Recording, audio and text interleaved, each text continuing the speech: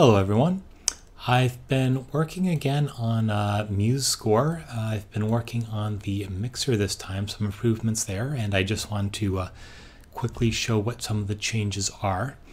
You might notice right away the graphical display is quite a bit different than what it was before.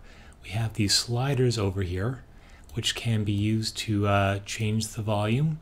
Uh, of course, the pan is here, and uh, you have the mutant solo like before. Uh, and most of the uh, controls have been moved over here because uh, they're a lot more complica complicated now. So what we're going to do is have a very simple piece here. We're just going to start playing it and we can use these uh, sliders to take it down to uh, just change the mixing levels of the different parts as uh, we had them before. Now, a new thing you can do is you can click on a part, and this uh, auxiliary dialog over here will be opened up with uh, all sorts of extra information in it. So, and this time, if you change the volume of the drums, you can see it automatically changes over here. And you can even use this slider to also change the volume of the drums. And you can even use the uh, dial the box over here to change those numbers one at a time or even put in a specific value uh, if you wish. Uh, that will, here let me stop this. Uh, a lot of people uh, requested this feature. It um, just that much more precision, precision and exactness. Same thing is happening here with the pan. Uh, let's uh, start that going again. And let's, let's keep those guys a little bit quiet. Now I don't know if you can hear this uh, through YouTube, but we are shifting the panel between our left and right speakers by twirling that knob there. And another thing we can do is uh, mute in solo, so if we want to get rid of the violins, put on the mute there, they go away. Same with the saxophone. And you can also do the solos. Uh, this way only the violins play. Now you can hear the saxophone and the violins, and now uh, there go the violins. So uh, that's the basics. Now there's also the reverb and chorus. These haven't really changed since the last one. Uh, this does not actually cause any reverb or chorus to happen in the playback. This is more for the MIDI out. So if you have a MIDI device attached to uh, your computer that's listening for MIDI events, that's where the, this information goes. Um, there's also a new feature here, this expand button. Uh, for some parts like violins that have multiple parts to them, if you click that, you can now see those parts are broken out into a, a, group of three. And um, before, you would have seen all three of these parts uh, at once. Uh, there was no way to collapse them before. Which was a little bit confusing, gave you an awful lot of extra stuff in the mixer you didn't really want to deal with. Now by clicking this expand button, you can uh, view them explicitly if you want to, or you can hide them away if you don't want to see them. Now if you uh, go into the violins, let's uh, solo the violins. Now you can see I have this uh, set up so that there's uh, a normal section, a pizzicato section, and a tre tremolo section. And by soloing just the normal section, you only hear this little bit here, and the other two do not play.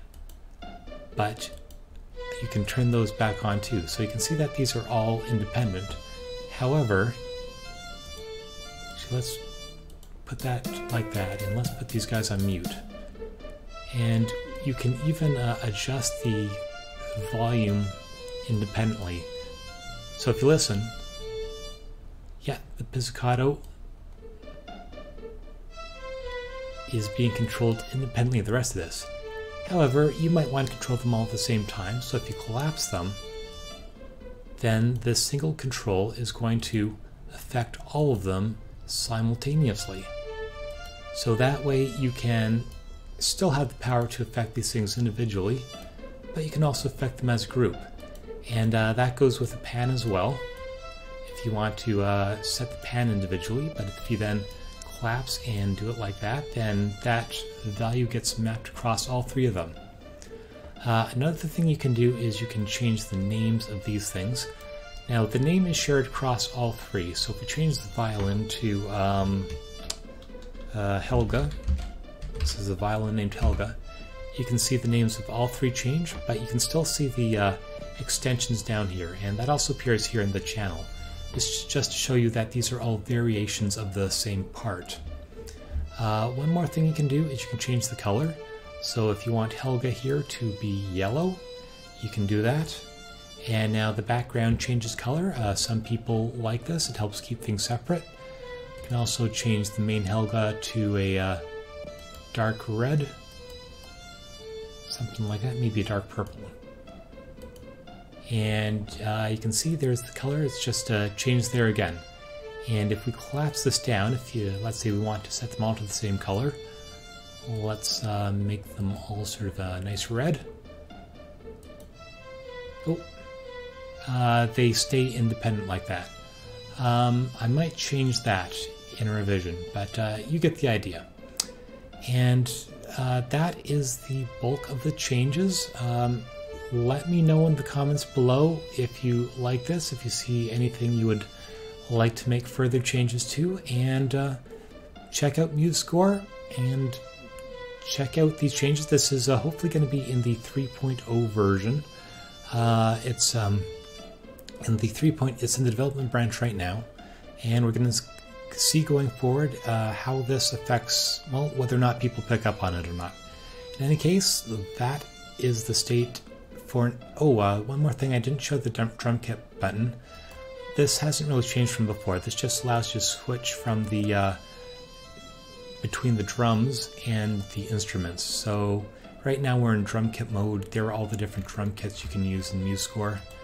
But if you check that off, you are now in the um, instruments. So uh, that was in the previous version. I'm just showing that it's uh, been incorporated into this uh, new version. Anyhow, that is the state of things for now. Uh, comment below if you want to make any comments, and thanks for watching.